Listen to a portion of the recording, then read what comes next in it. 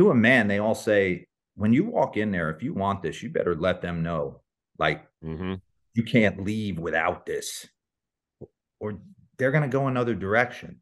So I completely understood why the Mets did what they did. I drove to that interview going, man, if I get this, I don't, I don't even know if my wife will come with me.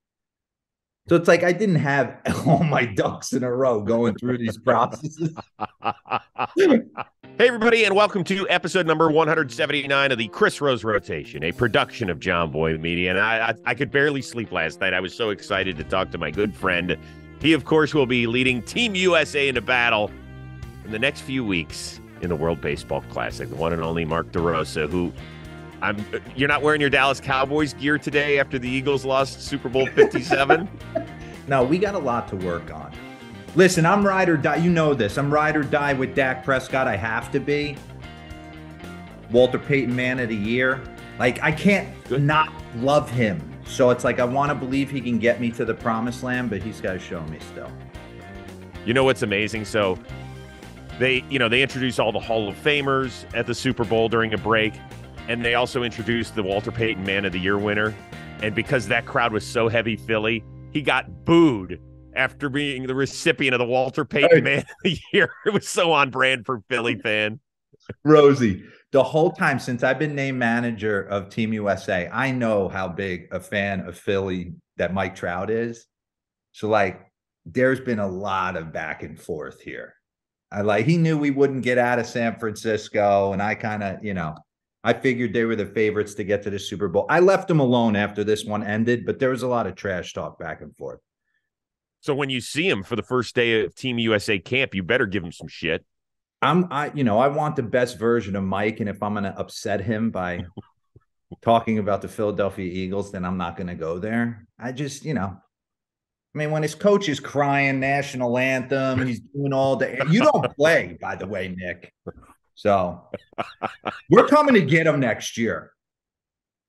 So wait a second. Are you saying that you're not going to be crying during the uh during the Star Spangled Banner of Game One No. against Great Britain? No.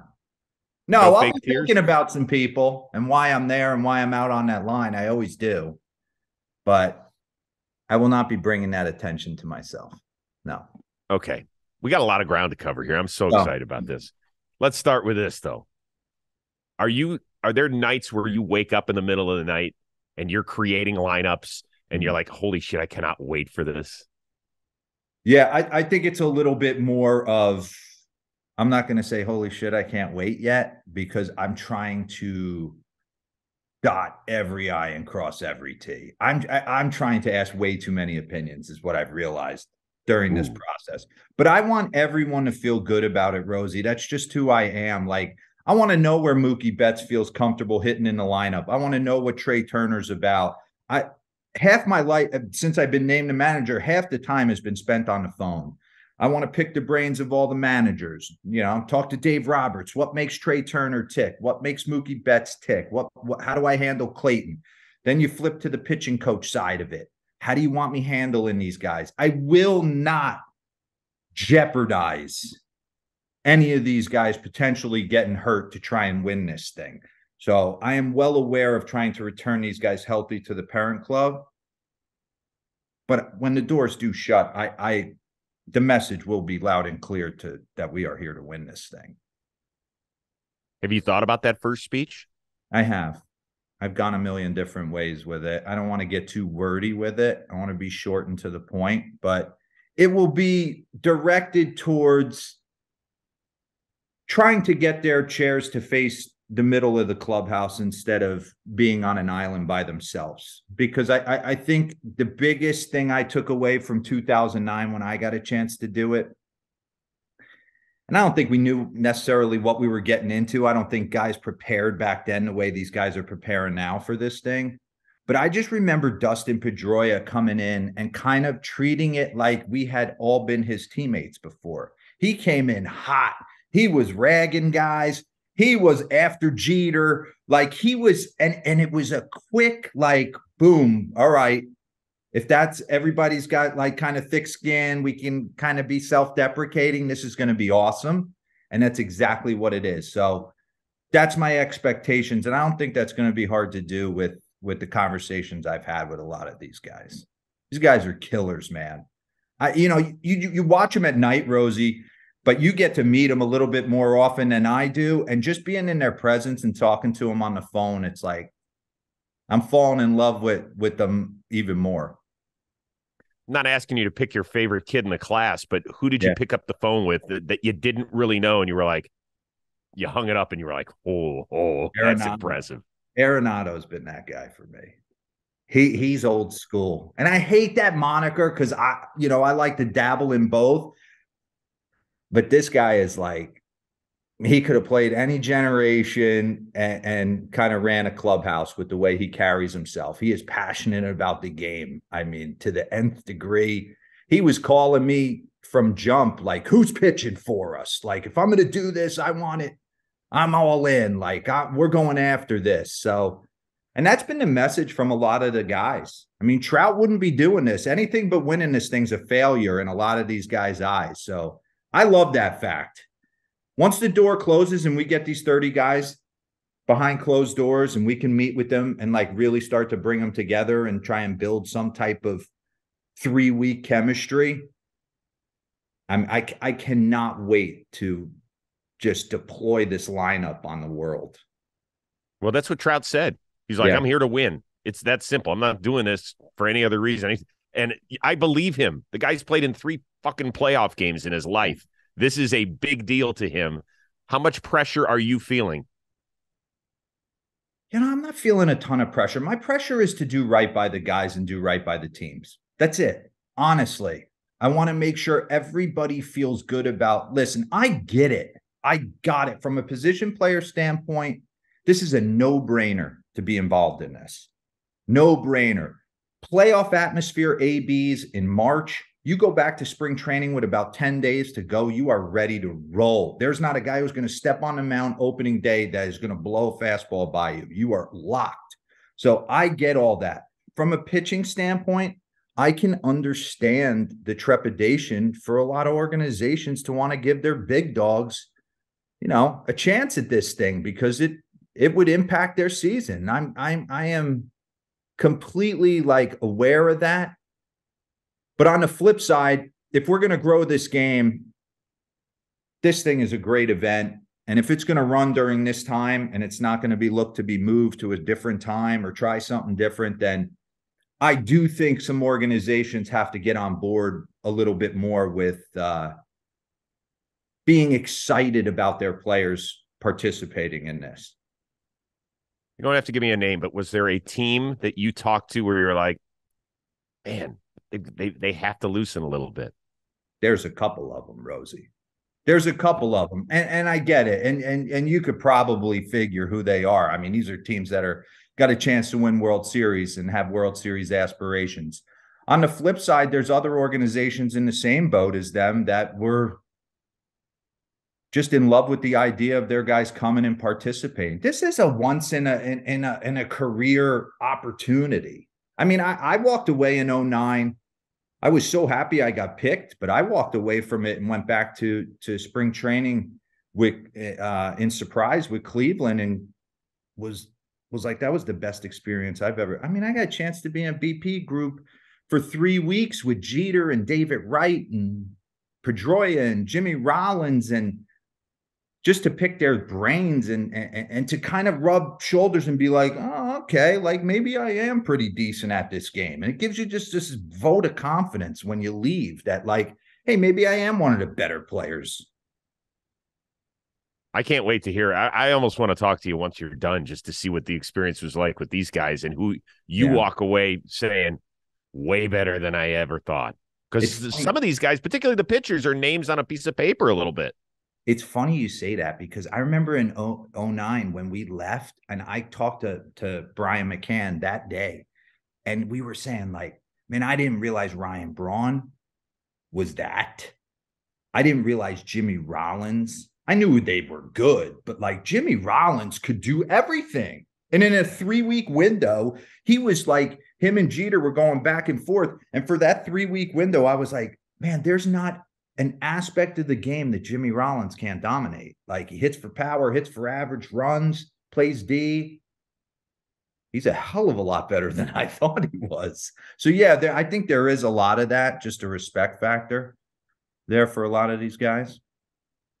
I love it that Paul Goldschmidt is back because I remember. It. Listen, the reason I have this hat, I went to the final out here at Dodger Stadium in 2017, and a big piece of that was Eric Hosmer.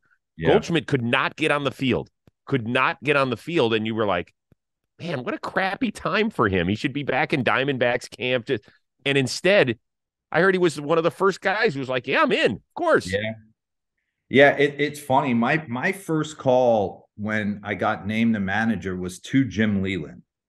And I'd sat on the phone with him for about an hour, hour and a half, just kind of picking his brain. And he said, listen, you have, you have two jobs. You have to bring them together as a team as quick as possible and to return them to their parent club healthy. He goes, now someone's going to tweak something. You're going to feel terrible about it, but it, it just, it is what it is. But then kind of leading into the Goldschmidt, he was just saying, pool play, you give the guys their at bats. And then when you get to Miami and you got a chance to win this thing, you know how spring training is. You either hit a dollar 10 or 510. There's not the guy who usually hits 280 in spring training. You either stink or you can't get out. And you're like, man, I'm wasting all these hits in spring training. So that's what I've told the guys. I've tried to be transparent and honest in my conversations with them, Rosie, and kind of told them that listen, hot hand's going to play once we get into these elimination games, and that's what happened to Goldie. Like Haas got hot at the right time. I would assume I would assume Goldie will be fine. Okay, you have the balls to tell Mookie Betts, "Hey man, why don't well, you watch from here?" Well, there's a few that maybe going to get a little bit more carp. I mean, Mike Trout's going to play. He's two for 20, and Cedric Mullins is 12 for 20. I- will move Cedric to a corner. Love it. Dude, it's a hell of a staff you put together here, too. Does Griffey have any eligibility or is he done? it's funny. I've been picking his brain on where to hit guys in the lineup because the game's changed a little bit, right? Mike Mike Trout is like in our minds was would always hit third, but in today's game for right. the last you know five six years, these the the maulers have been hitting second. So I kind of just pick his brain, but it has been this the staff has been amazing. It's been one of those situations where it's like you come in excited to be a part of it, and now it's gotten into like where that's worn off, and it's like the grind of of wanting to do this right. So like I spend every day talking with multiple coaches on the staff. I mean, Andy Pettitte and me are going to be best buddies after this. He has been phenomenal as a pitching coach. Dave Righetti has been, I, I mean, mm. fortunate to win a World Series with him. So I sat there in 2010 and watched him and Boch just pick that bullpen apart and get us to a World Series. Uh, Jerry Manuel, has been great, not going to let me fall on my face. That's all I tell him. Mm-hmm. You've won over 700 games, man. If you see I'm about to, you know, fall on my face, I need you to jump in. And then I brought some of my boys with me. I got Michael. Sure as hell did. Is this you're not going to have time to golf, brother? Uh, you keep McCann and that back sweat that he's got. You tell him to start working. Let him do his cardio during the day and sit his ass on the bench next to you as the, the number two bench coach and take care of you. you. He can bring you the beer. We're going to go out a couple days early to get it out of our system. But Brian McCann has been my ride or die for you know 20 years now. So he's coming with me, and uh, and Michael Young's going to come with me too and help Griffey out. So I needed two guys that would take a bullet for me. I didn't get to necessarily pick the staff, and these guys have been awesome. But when, when I turned to Tony Reagins after he after he named me the manager, I said, you know, I got to know there's a couple guys who would be willing to die for me in the dugout. So that he was cool with that. Okay. This is a sprint. It is not a 162 game schedule. You are not flying from Kansas City to Minnesota to Seattle over an 11 day span and going to be away from your family. But is this a personal litmus test for you to see whether or not you really want to do this? I don't I, I hate to say I don't know, but I thought this was the perfect opportunity for me personally where I am at this stage in my life. I have two two uh, Rosie, I don't want to get like sentimental or cheesy, but my father was always there. And what I mean by that is every game I ever played up into pro ball, he was there. My mom and dad were present in my life. And I always felt like my my son's 13 right now. He's in the midst of like travel ball and like really coming into his own. My daughter's a freshman at Auburn. It's two hours away. She comes home all the time. So like with my job and what I'm doing, I am afforded the opportunity to like be a significant part of their life on a daily basis. And I just know me. Like like I think back to my playing days and like my son was an infant at the end. I don't even remember those years. Like, not to be like so honest, but it was like blink of an eye, he's five and I'm retired. But that that one through four window, I was concerned with trying to get hits on a nightly basis. So that that was it takes you away from it. So when I go, if I go, I want to know like I am 100% all in. I felt like this was an opportunity for, like you said, a sprint with the greatest players in the world to kind of, to kind of, you know, see what it's like, get in there. But like, I'm not, I, I also don't feel like I'm doing this for me. I, I feel like I, I've always just loved the players and loved their stories and want to yeah. give them the best chance to be have an experience. I want to create that was my message to Paul Seiler when the head of USA, I said, I want to create an experience for these guys. Like I want to bring in some special guest speakers. I want, I want, I want them to leave these three weeks going, that was the best three weeks of my career. Who are you working on? We got some big names I'm trying to pull off. We'll see. How big? I mean, the biggest. We'll see what I can Entertainers? do. Entertainers, mem- members of Dream, the, the, Dream Team. I wanted some affiliation with the United States. You know. Well, wait, hold on, Laettner. I uh, you yeah, I love Laettner in there, but like Magic, Barkley, like that type of. Yeah, I've reached out to Jeter about him walking through. I've reached out to Pedro. He's big, big TV star now. Big TV no, star. Not don't have time. That. I saw that, but I want these guys to be around. Like I want, I want them at every time they turn their head to be like, "Whoa." Do you, well? Do you do also do the military thing? Like, do you? Yeah, you're gonna bring it. I'm gonna bring it. I'm gonna bring. That's why we're wearing it. At least for me. At least for me. That's why I stood on the line. I stood on the line for all the people that were fighting for our freedom and allowed me the opportunity to rest my head at night and get to play a kids game for a living for a mm-hmm. ton of money to entertain people. So, you know, my grandfather fought in the World War, War uh, World War, and and my dad was in like I. That's why I stand right. 9-11's another big factor. I grew up in the in the shadows of the twin towers when i walked out my front door that's what i looked at right new jersey boom and and for those people to have to go through that those are the reasons I stand. So I know that's not everyone's stance on it, but that's why I stand, and that's why, yeah, I want I want them to realize there's a that that part of it, no doubt. Okay, I look forward to hearing who's gonna be in there talking. Don't don't bring Millar. His vocabulary is not expansive enough for these yeah, guys. He just wants to shag in the outfield. He said. Please talk about blown out a hammy. Although he looks good, man. He's he looks good. I don't know how much you've seen him in person. You know, since he just does it out of his little Austin hotel room. I saw him two weeks ago, two three weeks ago. Jon Lester had a retirement weekend down oh, in South, South, Georgia. Yeah, it got after we got after it. It was yeah. good. A lot of people I haven't seen in a long time came in, so it was. I I love that. Who had the most fun that weekend out of the ball players? Was Lackey there? Who had the most fun? Lackey was there. Lackey was tame, actually. Lackey was tame. What? Josh Beck, he was. Josh Beckett always has fun. Yeah, I does. thought it was. I, I had a great great chance to like catch up with Brandon Hyde was there. I talked to him for the hmm. first time. Got to know him. With he was with Eric. He's all. They're awesome. Pedroia was there. Uh, David Ross was there. there was a lot, lot of old Red Sox guys and old Cubby guys. I got a chance to talk to Schwarber, Daniel Huh. Bard, two guys that are on the roster. So I sat with them for a little bit. So it was a good, it was a good group. That's nice. Yeah. I do want to get back to the the managerial prospects for you very quickly. You did have interviews with teams, didn't you, a few years ago? Yeah. Well, I I always, you know, it's funny. Like, I always knew Jeffrey Loria because of the Ivy League thing. He always like kind of took a liking to me.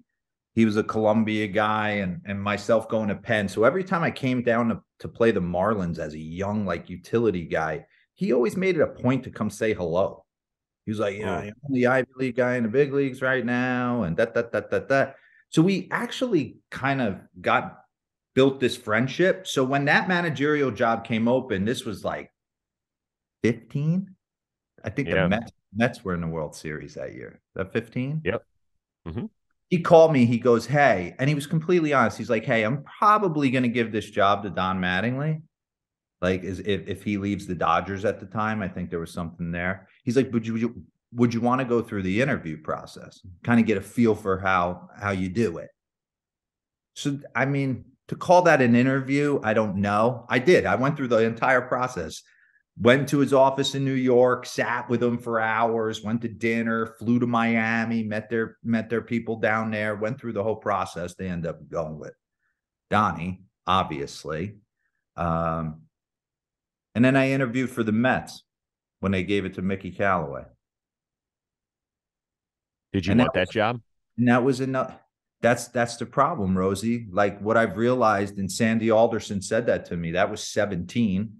I remember when we landed for the World Series out in LA, and Sandy Alderson called my phone at baggage claim. And he was like, We're gonna, we're gonna announce Mickey Callaway as the manager. And I was just like, I was like, Sandy, I just have to know, like, how?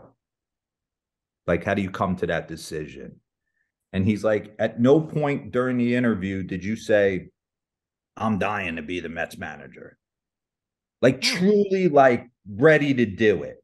And it's funny because I think back to some of the conversations I've had with Booney and Cora and AJ Hinch and some of the managers that I have built a relationship with and played against. To a man, they all say, when you walk in there, if you want this, you better let them know. Like Mm-hmm. you can't leave without this or they're going to go another direction so i completely understood why the mets did what they did i drove to that interview going man if i get this i don't i don't even know if my wife will come with me so it's like i didn't have all my ducks in a row going through these processes Heidi will check in occasionally. How's it go? I haven't even noticed. What is your record? You think 42 I'm games. And then when so when I got called by Tony Reagins to do this, I was like, this is a one month greatest players in the world chance to represent your country, like chance for you to let these guys know like what it should look like. Like create an atmosphere that they want to they want to kill for you.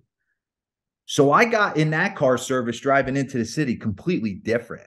Like this fit right into my schedule. So I Perfect. went- you can I went I went in flying. I'm like, Tony, I want this. I'm your guy. And he bought it. Do you think you would have taken this job though if they said you have to use our bench coach, Robert Flores? no, I would have walked. That's it. He can't Because he would have had his gamer headset on the whole day. I would have walked if it how about Millar? If I would have had that Millar as my bench coach, that would have been interesting. Yeah. No, it's it's, it's there's well go ahead. I was just gonna say he still thinks there's four outs an inning instead of three. Yeah. But don't worry, he'll figure that one out Yeah. at some point. um Mark, I I love what you say about wanting to see your son play. I get that more than anybody, right? I'm always Yeah. first flight out. If I'm coming home, I'm last flight out so I can make every one of Brady's games that I can. Is there a part of you that says I might be screwing myself on like an opportunity? Like wait, by the time he's done, you're going to be in your early 50s. That's not old Yeah. because I'm there right now.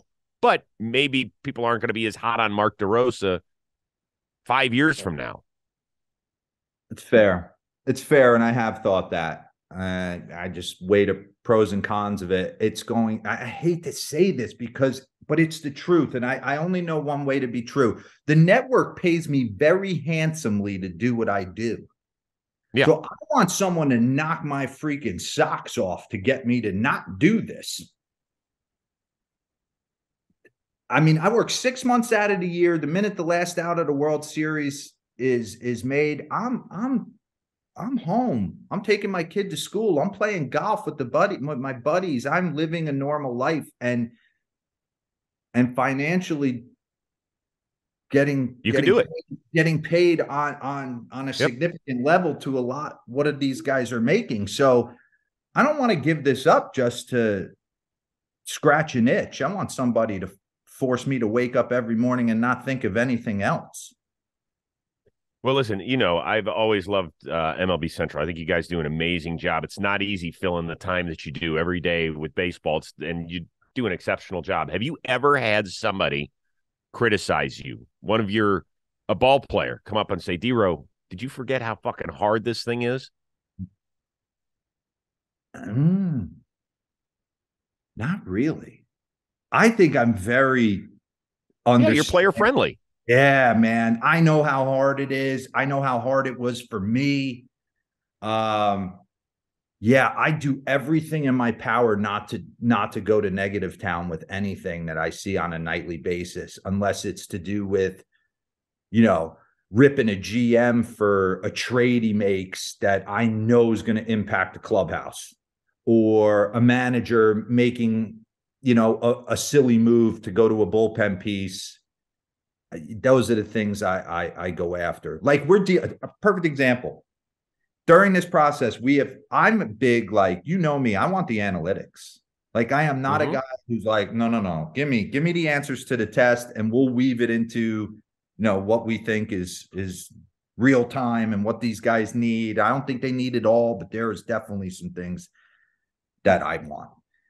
So we hired the Dodgers analytics guy to help us throughout the course of this. His name is Pat O'Shea, and and he has been phenomenal. But I find myself consistently going, Pat, how can I trust you when in the postseason I watch you guys race to get into your bullpen? I mean, it's a sprint. Uh, we got to get to Phil Bickford now.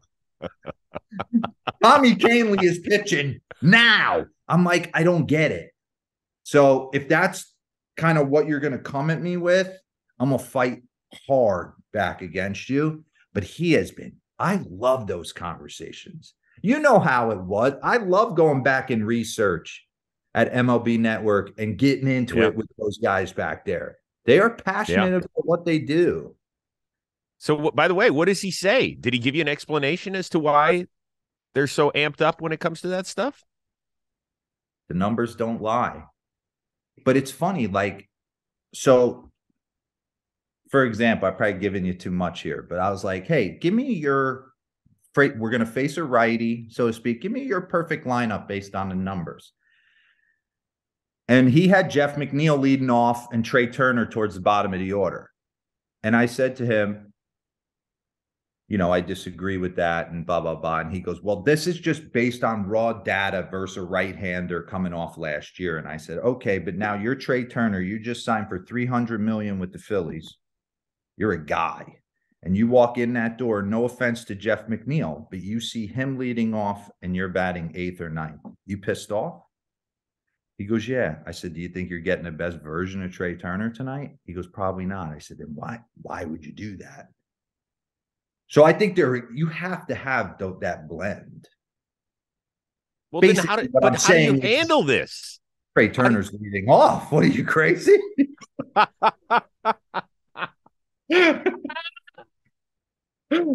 oh my god! Yeah, I can't wait till Great Britain's throwing their best right-hander, and I'm watching Turner's hitting eighth. I'm going to know who won that argument. He won't Not. Happening. Not happening. Not happening, Rosie. There's something to be said for the back of the baseball card and do it like yeah, I think the biggest thing I'm dealing with right now is is you know, why I ask him, why did you lead off Mookie Betts? Like to me, Trea screams lead off, Mookie screams second, Freddie. If you want to split it up, Trea, Freddie, Mookie. I said, but you consistently every night I flipped it on, it was Mookie Betts. And a lot of that deals with Mookie. Like that's his skill set. He'll come in, say, "Hey, you know, I want to be a leadoff guy." And da, da, da, I think this year, in my me talking to David Roberts a little bit, I I would expect Mookie to hit a little bit lower in the order for the Dodgers. So that's what I'm going to try and do for the WBC. So I'm kind of leaning Turner, Trout, Betts, Goldie right now. Dude, you're playing fantasy baseball. the best joke. version the ever. lineup is a joke. It's a joke. And and we sit on these Zoom calls, Chris, and we're trying to pick apart Mexico and Great Britain and pitch set the pitching up perfectly, analytically, and where these guys are at and what shapes and gets guys out. And and I said, man, we are so focused on our pitching. I under, understand that, but like, how is anybody going to get through our lineup? Might be able to throw a position player if you're up 10 in the ninth. Somebody's gonna gonna get you. It's just the way it is. It's too deep. So good. Schwarber and Arenado and Tucker and Alonso and Realmuto, and it's just too much. That's a damn good lineup. I do want to talk a little bit about you and your playing career.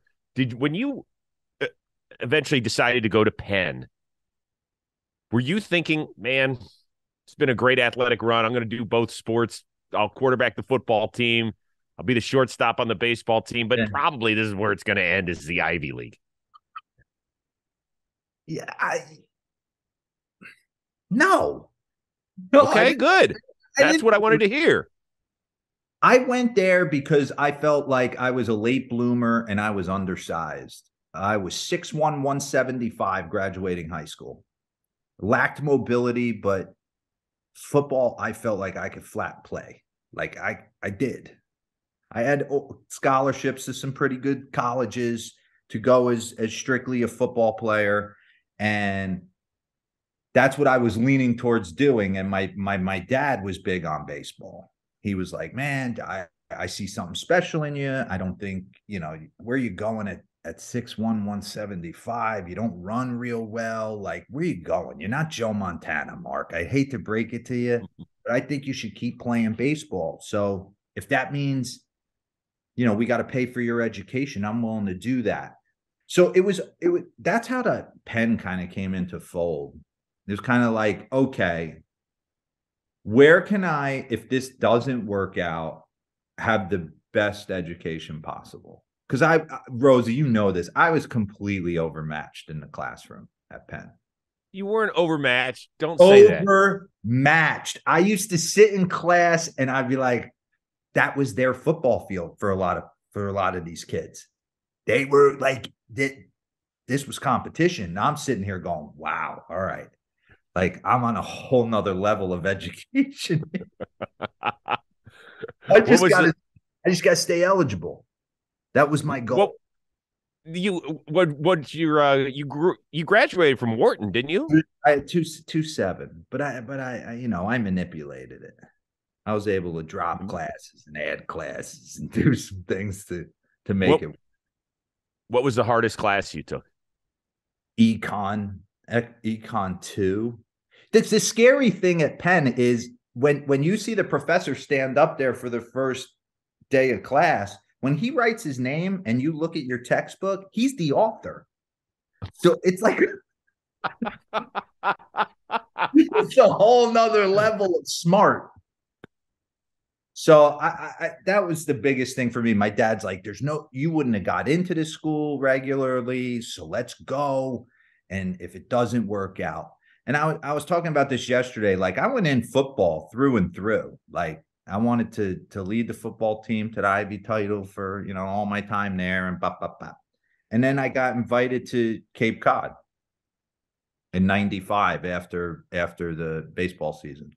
And I was going to back up Troy Glaus and John McDonald. That was the left side. Johnny of- Mack. Johnny Mack.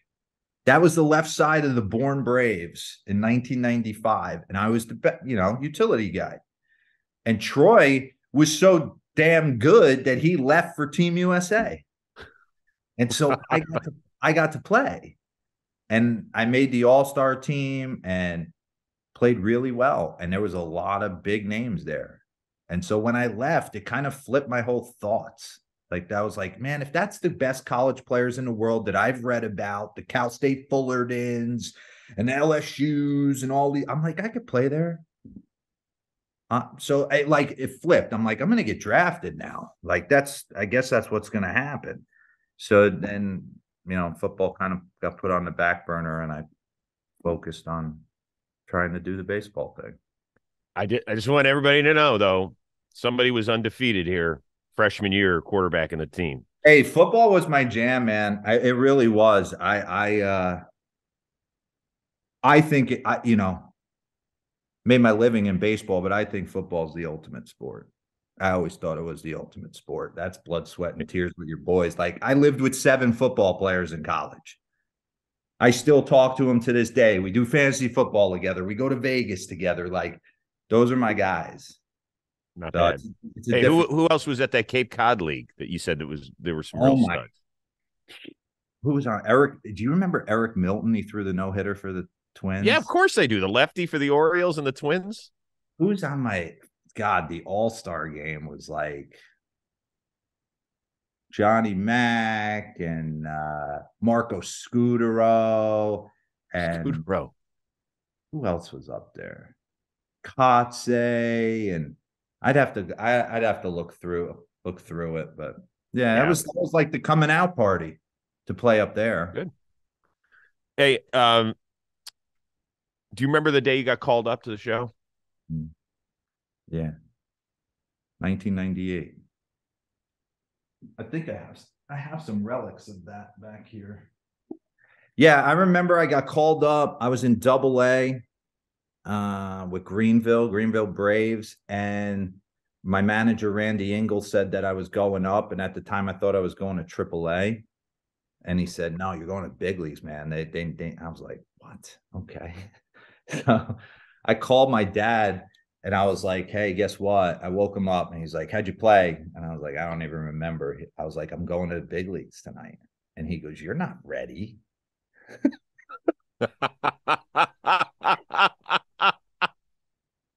I go, I know, I go, I know I'm not ready, but I'm going. So yeah, so I got I got called up. It was Sunday night baseball at Turner Field. Maddux against Randy Johnson when he was with Houston. And Bobby looked down at me. I think it was like the fifth or sixth inning. He's like, "Hey, you're gonna pinch hit for for Doggy." So I didn't even have time to process it. I just grabbed the helmet and bat and I went up and hit. And when I looked up, I was like, "Holy shit! It's Randy Johnson."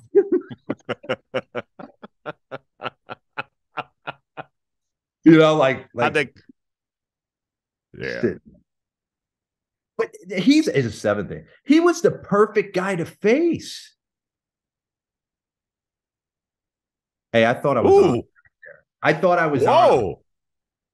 I did, and now he blows my doors off. Now he goes slider. Look at you. he fouled off slider. Right. I'm going to strike out, and as I'm running to first base, right here. Look how crouched terrible. How are you supposed to hit like that? So I run to first base and I'm like, oh my God, Jeff Bagwell. that was what I was thinking. it's like that's Jeff Bagwell. it took Dude, but it took me a minute. You had a you had a freaking locker room full of Cooperstown bound guys, though. That was I mean, the toughest locker room to walk into, Rosie. It was. I always say that spring training, your first big league camp, when you walked into Disney, it was like Hall of Fame row right when you walked in. Maddux, Glavine, Smoltz, Andruw, Chipper, whoever the big dog was, whether it was Galarraga, Sheffield, I mean, Javi, Vinny. We had a, we had, there were monsters in that clubhouse for a while. But I, I, I loved every second of it because the expectation on a nightly basis was we're going to win. And that's not the case in every place. Did they give it to you? Did they give it to you as a kid? Like guys ripped you hard? I did everything. I did everything. Sang on the bus. And the Braves, it's different because they don't bring up young guys. It's like one a year. Yeah. You're a rookie for like three years there. So I carried beers. I sang on the bus. I I had to clear customs in the stupidest outfits known to man to get to Montreal. I Oh. I had to. BJ Surhoff used to make me go down and get his bag, and then bring it to his room, and then unpack it into the dressers. Like, yeah. That is so good. But he still. right, I want to hit you with a. What's that? But he still texts me to this day. BJ, all time. What is what? What does it say? I'm in Hawaii. Come unpack my bag. no, he'll be like, "Hey, watching the show, you're doing a good job," or "Give me a nugget." There's a lot of lot of former players that will text me throughout the course of the show. All right, I got a couple quick hitters, and I'll let you get back to uh, fielding calls from Andy Pettitte and Ken Griffey Jr. Yeah, Uh, first time you laced it up with Pujols, what was Yeah. your reaction?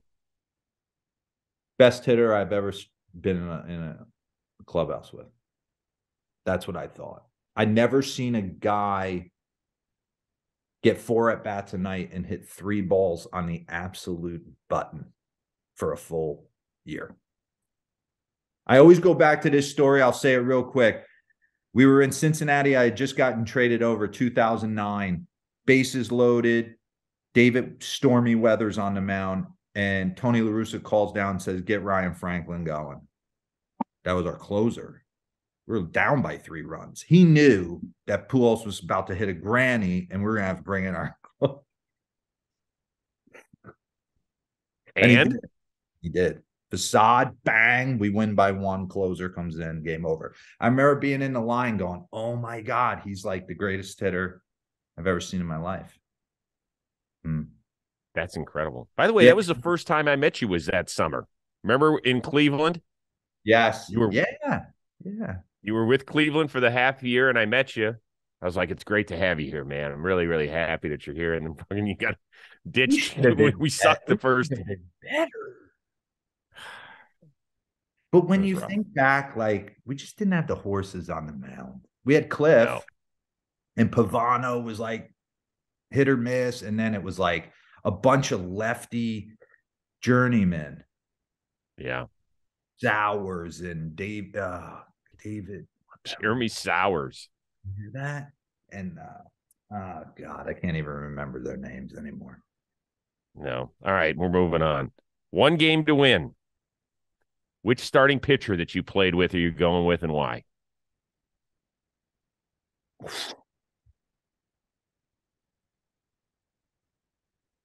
Oh my god, I did not expect that to come at me. We've got Brave staff, I mean, We've we got Smith, Giant staff. We got Giants, we got Strasburg at the height of his food chain there. Cubs, no. Cleveland, Cliff Lee.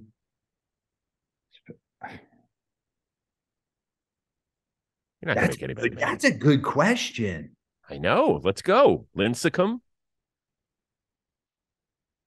You know, Maddux. you know, you know, when when Timmy's right, I would think he would be the most unhittable. I'd want to close the game with Smoltz. So I'd want to like save him. The easy answer is Greg Maddux, but it's like that's the easy answer. I'm gonna say the freak. When the freak took the mound in San Francisco to electric feel, come out song, that place lit up. I'm gonna say the freak. I haven't Good one. I like that. Speaking of that place, was Brian Wilson more skit than the real thing? Brian Wilson, what we hung out probably every night on the road throughout the course of that 2010 season. Um, one of the better, deeper individuals I had ever played with. A lot more skit than who he is as a man. He gets it. I always dug him. He was on the Rose rotation. I loved I always about liked him. You know what I loved about him, Rosie? He respected the game. And what I mean by that, like he wasn't too proud to say, well, I could just throw it past anyone. If you go back and watch him, he was strategic in how he pitched to guys. Like if the best player on their team was coming up, there's a little cutter off the plate. You can walk to first. I'll punch the next guy out. Like he never allowed his ego to get in the way of getting outs. And I always respected that about him. Last thing, uh, you've had hundreds of teammates. The funniest guy you ever played with was man, Dempy's up there. Dempy, Dempy did a lot of funny stuff. I had a lot of fun with the, a journeyman outfielder that people may or may not remember in Atlanta was Darren Bragg. Darren Bragg. Darren Bragg. We had some great, great times on the planes in Atlanta, going out to dinner. He was like this gun for hire fourth outfielder that we picked up in the late 90s early 2000s and man he he walked into that locker room and that was a pretty stuffy locker room at that time and he had like you know, the tank top on with the gelled hair and the bats on his shoulder. And he's like, I heard you needed some offense. Like he was just great. That's good. That's really good. All right, spin the wheel of moderately interesting things. Get you on your way. Let's see here. Mini me. Oh, this is a good one. You spent plenty of time in hotel rooms over the years. What is your one go to when you're starving or you're thirsty in the uh, little mini fridge or the you know the snacks that you, you're like that thing's calling my name. Yeah, I'm a chocolate guy. So yeah, I mean, if it's the M and M's or the Snickers or the Reese's cups, whatever they got in their chocolate is getting destroyed. Yeah, doesn't yeah. matter if it's 2:30 a.m. in Milwaukee, you're crushing it. I was never a big mini bar guy. I had a lot, of, a lot of teammates that went through the mini bar pretty heavy. I was not one of them. I've had unknown teammates knock on my door at 2:30 and clean out my mini bar and then throw a hundred on my bed and leave. Everything in a pillowcase. See you. Here you go, D-Row. it's pretty good. Well, hopefully we'll be raising a glass to you. Uh, where's the final being played? Miami. Come on. We need this. I know. I I love the World Baseball Classic. I am a huge I love watching the way other countries play the game. Yeah. I think it is so fun. It's so energetic. You know, we have to stay in like our own little box during the MLB season. I know that fortunately the box has gotten a little bigger, a little wider. Um, but man, the energy that's going to happen over those three weeks is going to be awesome. Yeah, it's going to be great. It's going to be great. I love it. I'm excited for you too because I know how much this means to you and how much you're going to enjoy it and how much you're going to make it great for these guys who have billions of dollars collectively, but you're going to give them something that money can't buy. So I love that, and I uh, I really appreciate you, you know, coming on, sharing some time with me, man. I miss uh, I miss seeing you, Rosie. I, I same here. You know how I feel about you. I text you the other night during the Super Bowl. I appreciate that. You do an amazing job, man. You're always on it. Always on it. I appreciate it. Uh, best to uh, Heidi and the kids. Enjoy that as well. And um, we will look forward to seeing you at the end of March, beginning of April on MLB Central for the 16 hours you're on every day. Yeah, let's go. we'll fill it. 9 to 11 uh, this year. They did. 9 to 11. Oh, is that because Shehadi's getting too big time? She said I can't do three hours. Yeah, I can't. I you know I don't ask questions. I can't figure it out. There's gonna be some days they re-rack it, some days they don't. I'll let them figure that out. Okay, good. Have fun with this experience, man. It was awesome catching up. Thank you. See you later, Chris.